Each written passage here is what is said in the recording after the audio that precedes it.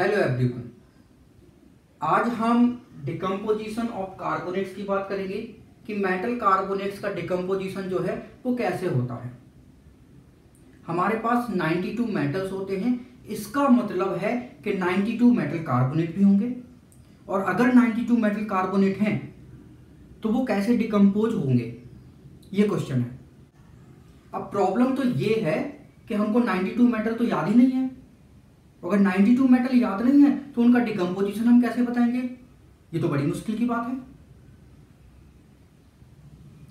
तो इसके लिए हमने जो है, एक ट्रिक बनाई है, जो हम आपके साथ शेयर करेंगे। अब वो ट्रिक क्या है? ये आप त्रिमूर्ति देख रहे हो? इनका नाम पता क्या है? इसका नाम है अमर, इसका नाम है अकबर, और इसका नाम है एंथनी। अमर अकबर एंथनी। और इनको मेटल खाना जो है वो बहुत पसंद है। तो अमर के पेट में कौन से मेटल मिलेंगे? अकबर के पेट में कौन से मेटल मिलेंगे? और एंथनी के पेट में कौन से मेटल मिलेंगे? अब देखो जरा। अमर के पेट में जब हमने डायग्नोस किया तो इसमें हमको sodium potassium rubidium and cesium metal मिला। ये ग्रुप वन को बिलोंग करते हैं। इसमें लिथियम जो है वो इंक्लूड नहीं है। तो सोडियम पोटेशियम रुबीडियम सीजियम, ये फोर मेटल जो है, वो इसके पेट में मिले, अमर के पेट में मिले। अब आप सोच रहे होगे कि अब सर अकबर की बात करेंगे तो अभी अकबर की बात नहीं करेंगे। अब बात करेंगे हम एंथनी की। इसके पेट को जब हमने डायग्नोस किया तो इसके पेट में हमें क्या मिला? Silver gold platinum and mercury ये ऑर्नामेंट मेटल मिले हमको। ये मेटल जो है, बड़े प्रेसियस होते हैं।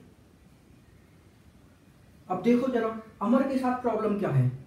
अमर के साथ ये प्रॉब्लम है कि इसको प्यास बहुत लगी है, लेकिन ये पानी पी नहीं सकता। क्यों? क्योंकि अगर इसने पानी पिया तो ये मेटल जो है वाटर के साथ वायोलेंटली रिएक्ट करते हैं।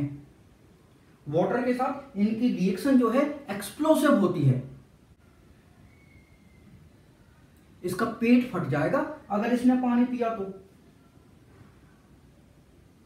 तो ये बेचारा हमेशा प्यासा ही रहता है।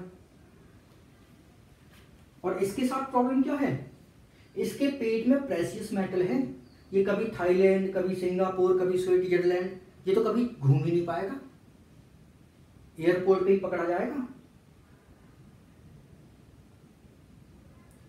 अब अकबर के पेट में क्या है? तो इसके पेट में फोर मेटल, इसके पेट में फोर मेटल, टोटल हो गए कितने? Eight metal. तो कितने बचे?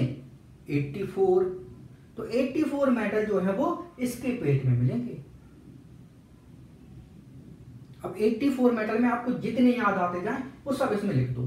तो देखो हमको कौन कौन सा याद आ रहा है। हमको लिथियम याद आ रहा है।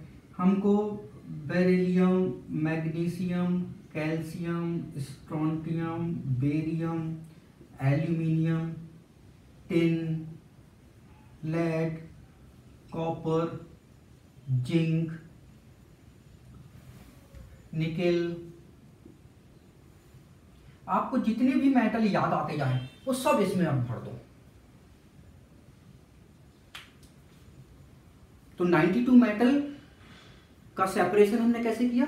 फोर मेटल अमर के पेट में फोर मेटल एंथनी के पेट में और रिमेनिंग 84 मेटल जो है वो अकबर के पेट में चले गए। तो अब देखते हैं जो अमर के पेट में जो मेटल है, उनकी कार्बोनेट का डिकम्पोजिशन कैसे होगा। तो सोडियम मेटल था तो कार्बोनेट होगा सोडियम कार्बोनेट। अगर हमने इसको हीट किया तो ये डिकम्पोज नहीं होगा। तो नो डिकम्पोजिशन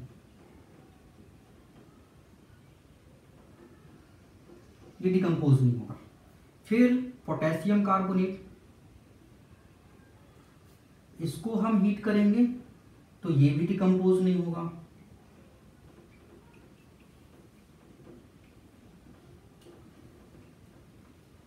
फिर रुबीडियम कार्बोनेट इसको हमने हीट किया तो ये भी डिकम्पोज नहीं होगा। और सीजियम कार्बोनेट इसको हम हीट करेंगे तो ये भी डिकम्पोज नहीं होगा। इसका मतलब है कि अमर के पेट में जो मेटल हैं, उनके कार्बोनेट डिकम्पोज नहीं होते। तो ये मेटल कार्बोनेट जो है, वो डिकम्पोज नहीं होंगे। अब अकबर के पेट में जो मेटल हैं उनके कार्बोनेट जो है वो कैसे डिकम्पोज होंगे? तो इसके पेट में कितने मेटल हैं? इसके पेट में मेटल है 84, 84, 84, 84 मेटल का डिकम्पोजिशन कैसे होगा? तो देखते हैं जरा। देखो जरा। मैग्नीशियम कार्बोनेट इसको आप हीट करोगे। तो मैग्नीशियम ऑक्साइड बनेगा और कार्बन डाइऑक्साइड बनेगा। जिंक कार्बोनेट हीट कर रहे हो तो क्या बनेगा? Zinc oxide and carbon dioxide. Lithium carbonate heat करोगे, क्या बनेगा? Lithium oxide and carbon dioxide ये तो इक्वेशन पहली दो बैलेंस थी। ये इक्वेशन क्या बैलेंस है? बिल्कुल बैलेंस है। फिर इसके बाद लेड कार्बोनेट हीट करोगे तो lead oxide and carbon dioxide और कौन सा बचा? कैल्शियम कार्बोनेट ये तो बहुत कॉमन है। हीट करोगे तो क्या बनेगा? Calcium oxide and carbon dioxide तो एक बात समझ में आई? कि इनके मेटल कार्बोनेट जो है, वो डिकम्पोज होके क्या बनाएँगे? Metal oxide and carbon dioxide gas. तो बस, हमको क्या लिखना है? Metal carbonate. अगर आप इसको हीट करोगे तो मेटल ऑक्साइड बनेगा एंड कार्बन डाइऑक्साइड गैस जो है, वो रिलीज़ होगी। सिंपल है। तो अकबर के पेट में जितने भी मेटल होते हैं, उनके कार्बोनेट डिकम्पोज होंगे तो मेटल ऑक्साइड बनाएँगे और कार्बन डाइऑक्साइड गैस जो है वो रिलीज़ करेंगे। तो ये हमारे एंथनी भाई हैं और इनके मेटल कार्बोनेट जो है, वो कैसे डिकम्पोज होंगे? तो सिल्वर का कार्बोनेट क्या होगा? वो होगा A G two C O three ये सिल्वर कार्बन का फॉर्मूला है। डिकम्पोज करोगे तो ये मेटल बनाएगा, कार्बन डाइऑक्साइड गैस देगा, एंड ऑक्सीजन गैस देगा। तो यहाँ पे दो गैस जो है वो रिलीज़ होगी, carbon dioxide and oxygen. Equation को हम बैलेंस जो है वो करेंगे। यहाँ पे हम टू लगाएँगे तो सिल्वर हो जाएगा फोर। फोर करेंगे सिल्वर। कार्बन हो गया टू तो इधर कार्बन को टू करेंगे। ऑक्सीजन हो गया सिक्स तो ये फोर और ये टू सिक्स फिर आता है मरकरी कार्बोनेट इसको आपने हीट किया तो ये मरकरी ये कार्बन डाइऑक्साइड एंड ये ऑक्सीजन गैस जो है वो देगा। इक्वेशन को बैलेंस करना है। टू करेंगे इधर। तो इधर भी टू हो जाएगा कार्बन टू है तो कार्बन भी टू हो जाएगा।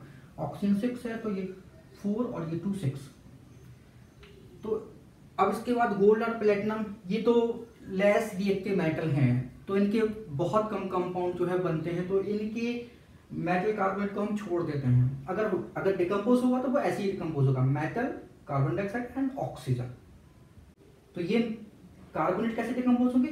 Metal carbon dioxide and oxygen तो लिख लेते हैं तो इनके मेटल कार्बोनेट किसके? एंथनी भाई के। हीट करोगे तो डिकम्पोज होंगे किसमें? मेटल फिर CO2 गैस बनाएँगे एंड O2 गैस बनाएँगे। बस, ये डिकम्पोजिशन हो गया। Thank you so much for watching this video अगर वीडियो अच्छा लगा है तो प्लीज़ उसको लाइक करें, उसको शेयर करें। अगर आपने हमारे चैनल को अभी तक सब्सक्राइब नहीं किया है तो प्लीज़ उसको सब्सक्राइब करें। Thank you once again for watching this video